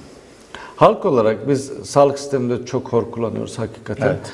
Ee, yani çok gereksiz e, müracaatlar oluyor. Neredeyse Almanya ile bizim nüfusumuz aşağı yukarı aynı 80-90 milyon sınırında. Ee, 2020 rakamlarında onların acillere başvuru oranı ile bizim başvuru oranımız arasında 11 kat fark var. Yani birisi 11-12 milyon acil başvurusu varken tüm acillerde Türkiye'de 120-130 milyon civarında bir başvuru oranından bahsedebiliriz. Bu anlamda da e, acillerimizi ve sağlık sistemimizde halk olaraktan e, gereksiz yere kullanıldığını da düşünüyorum. Bekletilebilir, rahatsızlıklar bekletilebilir. Herkes her şeyinin acil olduğunu düşünüyor.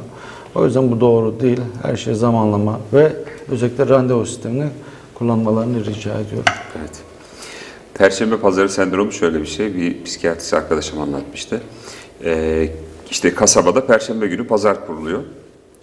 Çarşamba gününden o bölgenin köylerindeki kadınlar hastalanmaya başlıyorlar. Bildiğin anksiyete yaşıyorlar yani. Kalpleri çarpıyor, nefes alamıyorlar, tansiyonlar iniyor, çıkıyor, ateş basıyor bilmem ne oluyor falan. Gerçek ama şeyler, semptomlar. Yani gerçek yaşanıyor bunların hepsi. Sebebi şu, perşembe günü koca şeye götürsün, pazara götürsün kadını da. Orada çünkü perşembe günü pazara gidip onu da doktora götürecek. Evet. Ee, o hazırlıyor kendini yani perşembe günü hastaneye git, şeye gitmek istiyor, pazara gitmek istiyor. Ee, ne oluyor? Yarın pazara giderken seni de götüreyim hanım diyor, onu da götürüyor perşembe pazarı şey diye.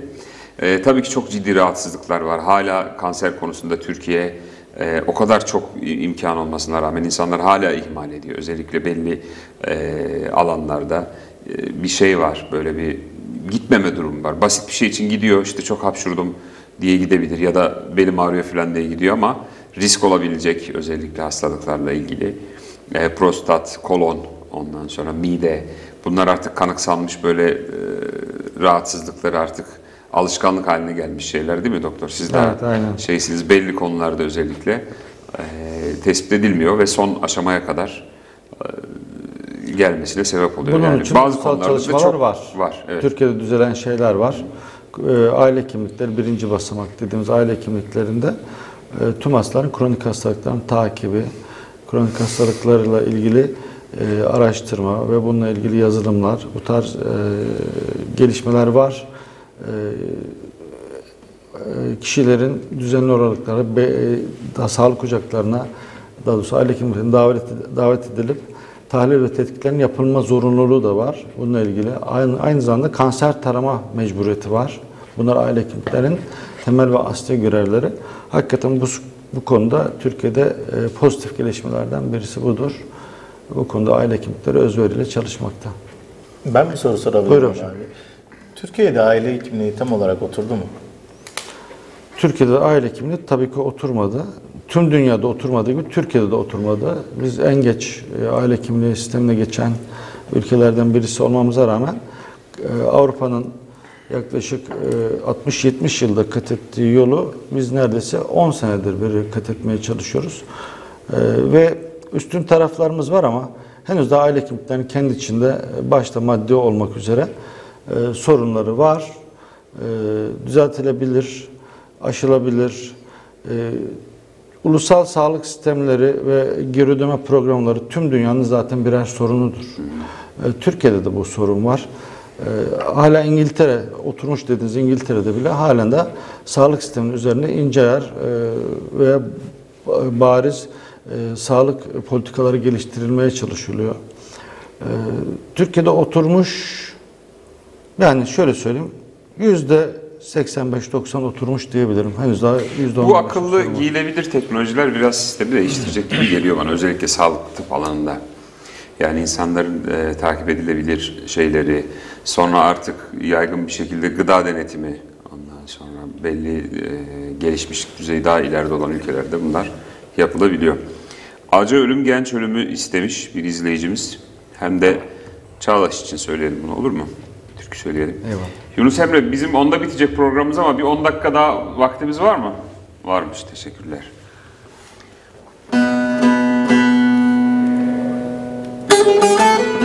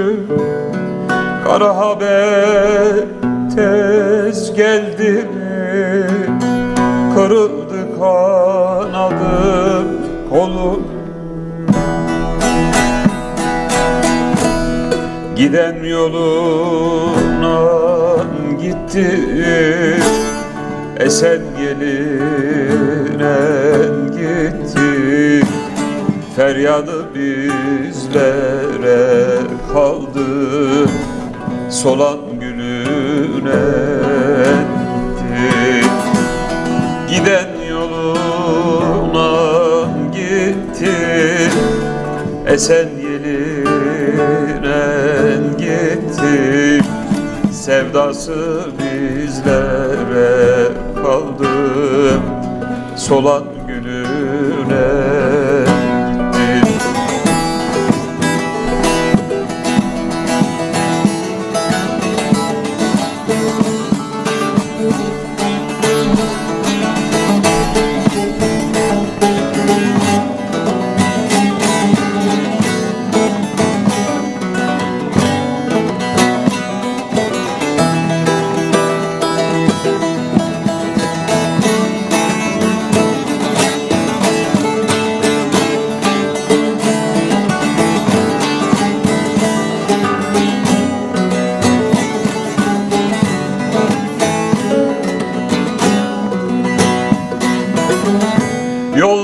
kaldı gözüm Eridi aktı özüm. Yollarda kaldı gözüm Nerede aktı özüm? Kaybettim yavrumu Ondan ağlıyor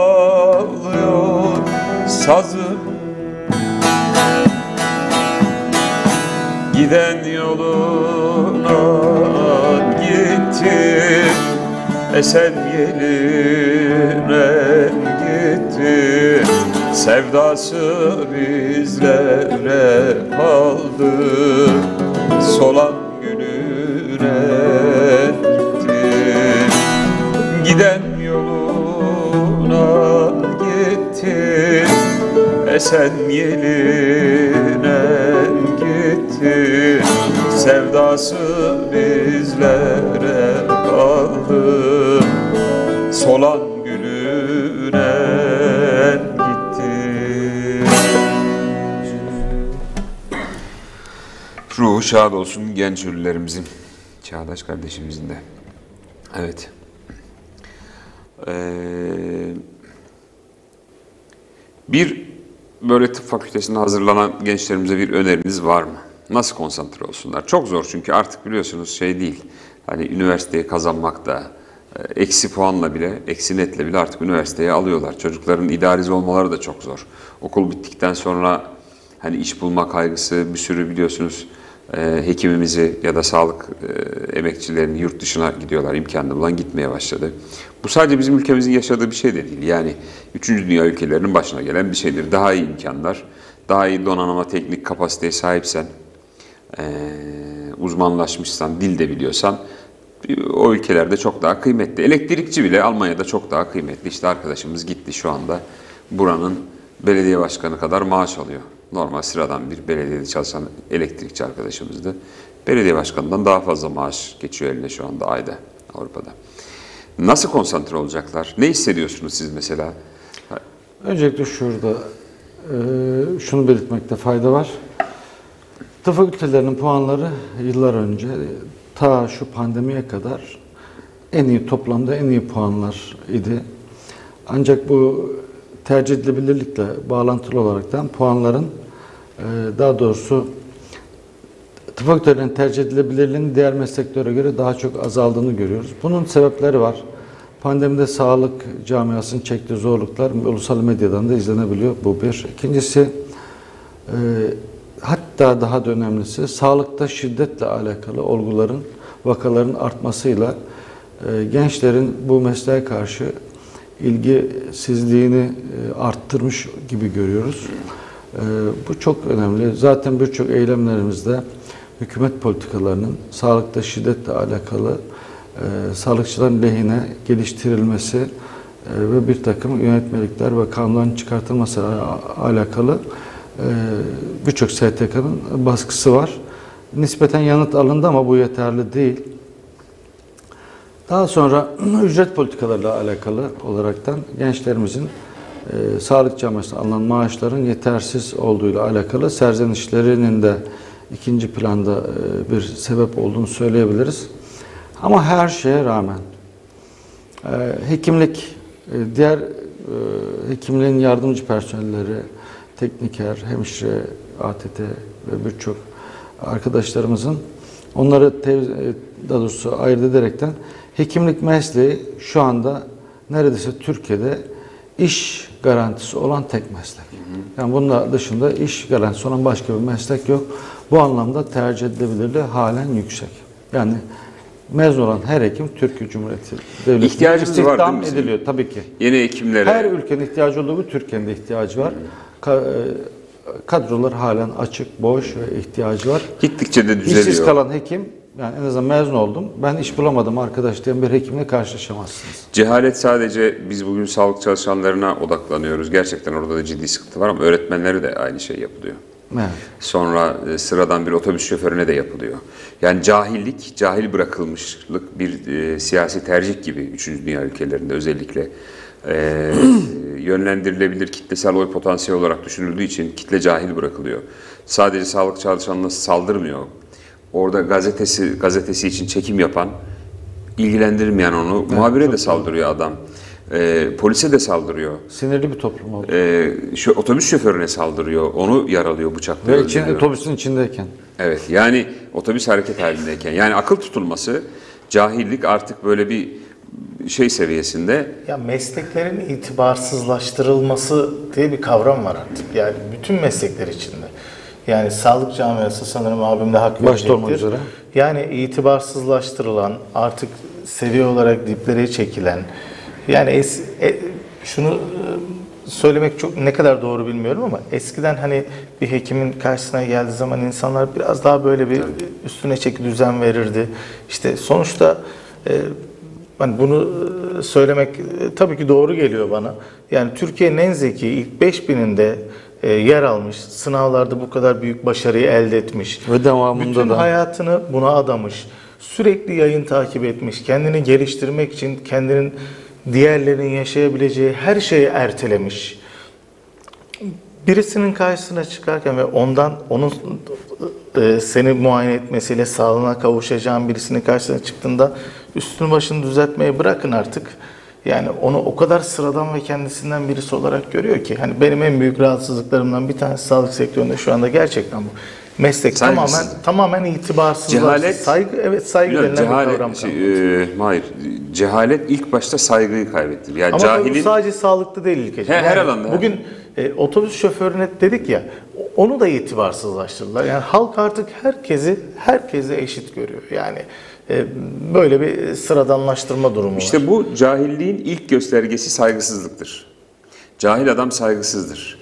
Hem kendi görüşüne hem karşı tarafa artık futbolsa da maçsa da yemek tercihi ise de renk tercihi ne, ne dersen de dil, din, hepsini sayabilirsin. Saygısızdır. Cahil adam saygısızdır. Okumuş aydın adam fikrinin karşısındaki adam tam zıttı bile olsa yani iki milliyetçi ya da işte çok koyu milliyetçi iki kişi düşünün. Ee, Biri Fransız milliyetçisi olsun. Türkiye'den örnek göstermeyelim. Çok bozuyorlar, bozuluyorlar Türk, Kürt, Alevi, Çerkez, Laz deyince de. Ondan sonra gerçi Suriyeliler geldikten sonra artık bir biraz problem çözülmüş gibi oldu. Bu e, Çanakkale'de biz kiminle birlikteydik filan demeye başladılar. Biraz aydınlanma olmaya başladı. E, ama milliyetçilik anlamda söyleyeyim. İtalyan ve Fransız olarak düşünelim. Okumuş iki insan aşırı milliyetçi bile olsa oturup sohbet edip konuşup tartışabiliyorlar aynı masada. evet. İddialarını ortaya koyuyor. Evet. Ama evet. Dinleyerek. Cahil olduklarında hiç saygıları yok. O onun bayrağının üstünü çiğner. O onun şey kitabını yırtar. Yırtar. Ee, Kitabını bir de yakar. tabii yakar. Yani cahillik işte bu. Şimdi e, tabii provokasyon da var bu işin içinde. Şimdi şeyler çıkartıyor işte bizim e, birçok insan bu adamın e, Kur'an-ı Kerim'i yakan saygısız adamın Rusya bağlantısını ondan sonra diğer bağlantılarını ortaya çıkarmaya başladı. Bir provokasyon. Açık açık yapılan bir provokasyon bu. E, Cumhurbaşkanımızın resmi Türk bayrağıyla beraber yere serildi, üstü çiğnendi. Ondan sonra ben oy vermiyorum çok açık söylerim. Ben o partiye oy vermiyorum. Cumhurbaşkanı da olsa, başbakan da olsa hiç oy vermedim ama benim ülkemin Bu ülkenin Cumhurbaşkanı, Cumhurbaşkanı. Türk bayrağı var orada. E, o kadar da milliyetçi değilim. Türkiye'liyim, vatanımı çok seviyorum. E, ama o bayrak orada çiğnendi ve bütün gazetelerde reklam edildi. Türkiye'nin bütün gazeteleri bunu yayınladı. Şimdi sen bayrağının çiğnenme görüntüsünü yayınlar mısın? Dünyanın hiçbir yerinde yok böyle bir şey. Özellikle devlet basını özellikle bastıra bastıra bunları yayınladılar ve özellikle şeyde e, Doğu ve Güneydoğu Anadolu bölgesinde, başka bölgelerde falan bunun provokasyonu çok ciddi yapılıyor şu anda. Bu da bir şey, suistimal. Yani Kur'an-ı Kerim'i yakan, Türk bayrağımızı, Cumhurbaşkanımızın resmini çiğneyenlerin yaptığı kadar aynı e, cahillik bunu her tarafa servis edip o nefreti, o öfkeyi yayan insanlarda aynı derecede kötülük görüyorum. Benim için aynı seviyede hepsi. Bu, bu cahillik o kadar yayıldı ki inanılmaz bir saygısızlık var. Onlar da gidiyor onların bayrağını yakıyor. Böyle bir şey var mı? Yani bizim ülkemizin bir şeyi var. Ee, Atatürk'ün yurtta sulh, cihanda sulh. Dünya örnek olmuş bir milletiz biz. Biz bir ülkenin yaptığı bir terbiyesiz, bir saygısızla e, o ülkenin bayraklarına, o ülkenin şeylerine saldıracak bir millet miydik? İşte cehalet o boyutlara ulaştığında otobüs şoförüne de, sağlık emekçisine de, öğretmene de, e, emniyet mensubuna da aynı terbiyesizliği, aynı saygısızlığı yapıyor. Üzücü şeyler. Sanatçısına da yapıyor. İşte arkadaşımızı sahnede katlettiler yani istek yapmadı diye. Bu- Böyle işler. İşte otobüs şoförüne bizi ulaştırdığı için saygı duyarsak, otobüste giderken yolda izlediğimiz temizlik görevlisine sokaklarımızı ne kadar temiz tutuyor diye saygı duyarsak, öğretmene öğrettiği için saygı duyarsak, doktora e, sağlık Hizmet. bize sağlık hizmeti sunduğu için saygı duyarsak, müzisyene onları e, keyfini yerine getirip e, o anki ruhunu Her istediğini dinlemek istiyorsan git teyipten radyodan dinle Evet yani kardeşim ya. insanlar birbirine her konuda saygı duyarsa sanırım o zaman e, bir şeyler düzelecek ama Düzelecek. şey konusunda çok haklısın. Yani işin temeli itibarsızlaştırmada da yaşadığımız birçok sorunda da altında yatan şey insanların artık gerçekten birbirine saygı duymaması. Evet, çünkü cahillik arttığında saygısızlık olarak ilk göstergesi saygısızlıktır. Kendinden farklı düşünenlerin, düşünenlerin tüm sembollerine, dillerine, dinlerine saygısızlık yaparlar. Yani bu ülkede çok büyük savaşlar verildi. Biz Kurtuluş Savaşı'nda bütün şeyle savaştık. Ee, Batı dünyasının Hristiyanlarıyla savaştık. Hiçbir kilise yakılmadı.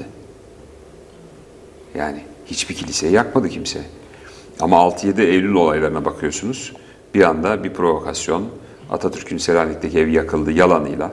Orada yaşayan e, vatandaşlar, Türkiye vatandaşları e, ki ekonomiyi onlar yürü- yürütüyor. Türkiye'de hani herkes savaşta şeyde filan bir şey yapamamışlar. İnsanları katliamı neyse bakalım. Birlikte söyleyeceğimiz bir güzide eserle programımızı sonlandırın. Bitmez çünkü hocam. Böyle oluyor işte. Sen çokmuş gibi diyorsun bir buçuk saat ne yapacağız diye düşünüyorsun ilk başta ama Yok gayet güzel bir evdeymiş gibi program sohbet ettik. bitti. Birlikte ne söyleyelim? Üçümüz de söyleyelim bir şey. Mahir sen seç, sen hepimizi tanıyorsun. Ben- Yöre. Abim seçsin.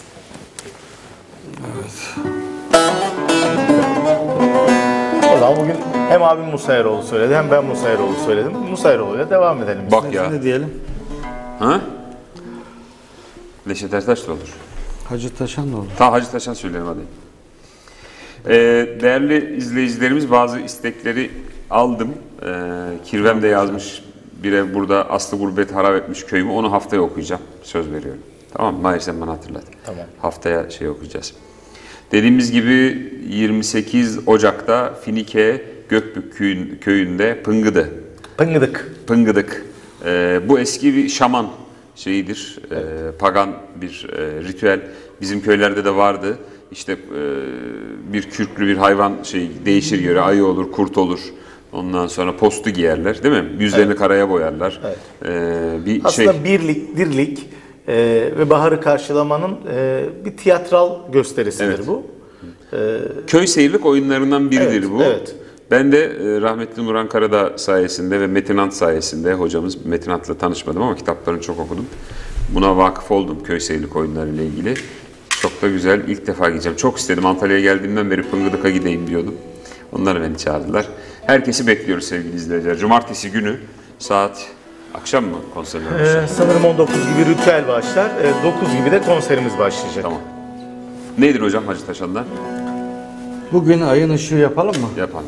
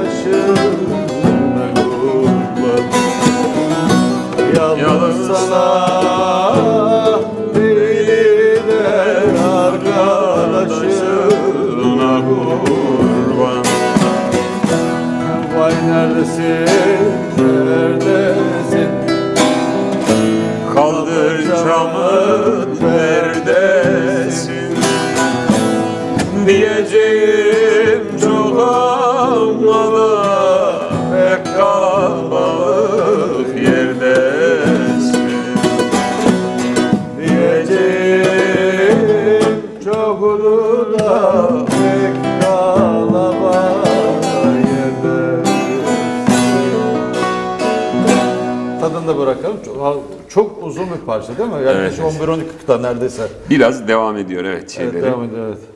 M- Atışma mani tarzında olduğu için bunlara söz e, eklenebiliyor. evet. E, hocam çok teşekkür ediyorum. Ayaklarına Ben sağlık. ederim. Beni iyi ağırladınız. Sağ olun. Demek? Bak türkülere eşlik ettim. Ben de gelince sen benim böbreklerime bakacaksın. Tamam. Böğürlerime. Böğürler. Hayırlısı. Ee, sorularımıza da cevap bulduk bazılarına gerçekten öyle. Bunlar böyle şey gibi geliyor ama insanlarda duyarlılığı oluşturmak için ee, biraz onu tercih ediyoruz biz aslında. Mahallede konuşuyoruz kendi programla ilgili. Ee, çok iyi bağlama çalan bir sürü getirebiliriz artık. Tanıdığımız, tanımadığımız insanlar hatta ben diyorlar çok ki amatörüm. O yüzden şey diyorlar çok hocam bize. efendim. ya Güzel işte olan zaten bu abi. Evet, amatör. Ya bizim için bu meslek, farklı meslek gruplarındaki insanların hayatında sanat neyi değiştirmiş? Onlara ne katmış? Biz bunu duymak ve izleyicilerimizle bunu paylaşmak istiyoruz. Yoksa böyle harika çalan, o acayip güzel söyleyen Tabii, bir sürü arkadaşımız var. Çok var. Onları getiririz, onlar çalar. Bir eğlence programı olarak var zaten bir sürü kanallarda. Böyle ustalar sazı yiyerek çalan, gitarı filan ustalarımız var ama bizim için önemli olan bu farklı meslek grubundaki insanların e, hayatlarında sanatın neyi değiştirdiğini göstermek ve paylaşmak istiyoruz. Onun için ayaklarına sağlık. Tekrar Sağ olun.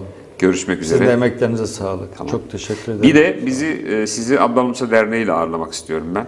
Olur, Neler yapalım. yapıyorsunuz orada onları anlatalım. Onlardan da ben biliyorum güzel çalıp Tamam söyleyenler dinliyorlar var. şu anda birçok arkadaş. Evet, Mehmet evet. Başkan da dinlemede. Sizinle ilk biz hocamla Mayron'u da söyleyeyim ondan sonra programı bitirelim.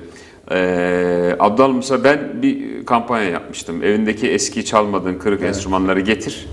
Tamir ediyordum onları. Bayağı bir kitle getirdi ama 250-300 enstrüman falan geldi bana farklı farklı. Onları tamir ettim. Yapamadıklarımı da işte Haydar abi gibi, diğer saz e, ustaları gibi onlara götürdüm. Tamir ettirdim. Onları ihtiyacı olan yerlere, Türkiye'nin başka illerine de gönderdim.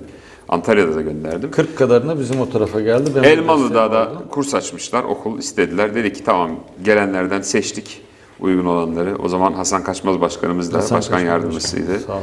Ee, bizim diğer Mehmet Özel'le. Evet. Onun çocukların ikizleri vardı. Yok Hüseyin Özel. Hüs- Hüseyin Özel pardon.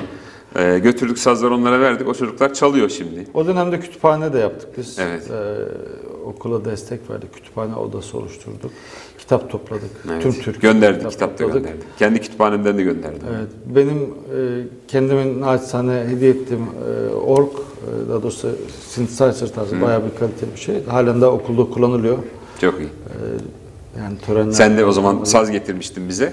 Ben onları topladım. Çok güzel bir şeydi. Bir sürü insan var. Yine yapabilirim böyle bir şey aslında. Mesela almış bağlama, çalmıyor, asmış orada kalmış. Evet ya. Sapı atmış, bilmem ne olmuş. Ya da işte ud, e, keman olabilir bilmem ne. Kırık dökük şeyleri getirdiler.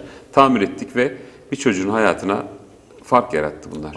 Sen belki O zaman tanışmıştık sizinle. Evet, izlememişsindir ama hala da bizim oraya hediye ettiğimiz enstrümanların hemen hemen çoğu halen de sağlam ve sağlıklı bir şekilde duruyor. İyi. Birkaç tanesi hariç. Bir şey olursa tamir edeyim ben onu. Yapalım onları. bir. Ben bir kontrol edeyim tekrar. Ee, peyderpey saz kursları devam ediyor. Onun üzerine 2-3 dönem saz kursu e, açıldı ve şu anda da yine planlanıyor. Son aşamayı da Mehmet Başkan'dan öğreniriz. Belki de Onları da çağırabiliriz buraya. Yani yine bir, bir şey yapabiliriz oraya için. Aynen. Çok teşekkür ediyorum. Programımızı teşekkür uzattık. Yunus Emre teşekkür ederim. Programımızı aksattık arkadaşlar. Sağ olun. Biraz şeydi. eee, Konu sohbet- derindi. Konu derindi kesemezdik şimdi. Normalde iki saat benim programım. evet. Bir buçuk saate düşürdük aslında biraz e, sekiz buçukta başladık. Şimdi normalde sekizde başlatacaktık. Bakarız yaza doğru belki format değiştiririz. İlk hocam ben dersime çalışıp geldim. Daha çok konu vardı esasında. Seni bir daha çağıracağız işte. Çağıracağız inşallah. Sen hazırlan. biz de biz de hazırlanalım. Ne soracağımızı. Abi bizde de şöyle oluyor işte. Ben tabletten parçalar açıyorum. Biz çok konuşuyoruz herhalde. Konuşmayı da seviyoruz. Yok çok tatlı. Sohbet normal. Ne, ne repertuarımız uyuyor programın içerisinde, ne konuştuklarımız. ne hazırlıklarımız Evet. Ee, dışarıdan tanımadığımız gerçekten değerli sanatçılar da buradan o açıklamayı da yapayım. Programa çıkmak için talep oluşturuyorlar. İşte benim albümüm çıktı, benim klibim çıktı, bizi çağırsınlar programda. Programımız böyle bir program değil. Yani sanatçıları tanıttığımız, duyurduğumuz bir program değil. Belki öyle bir programda ileri zamanlarda yapabiliriz ama bu bizim biz bize, bizi izleyenlerin e, bir şeyler alabileceği, farklı dalda dediğimiz gibi uzmanlaşmış abilerimizin, hocalarımızın, büyüklerimizin gelip burada sanat üzerindeki hem kendi alanlarıyla ilgili bilgi verdikleri hem de sanat üzerine konuştukları bir program. Ee, çok severek bir kişi çıkartamadım programa. O da içime dert oldu. Ali Orhan, buradan Ali Orhan Lazaloğlu hocam da saygı ve sevgiyle anıyorum. Çok isterdim onunla çünkü gazetecilik konuşacaktım. Bayağı hazırlanmıştım ona neler soracaktım neler. Rahmetli e, anma programı yaptık. Çok teşekkür ediyorum. Tekrar görüşürüz. Bize teşekkür Ee, programımızın sonuna geldik sevgili izleyiciler. Önümüzdeki hafta bir manikeler olmazsa, başımıza bir iş gelmezse sağ salim tekrar görüşmek üzere. Hepinize sağlıklı, mutlu ve huzurlu günler diliyoruz. Tüm Kanal ve ailesi adına hoşçakalın, güzelliklerle kalın. İyi akşamlar.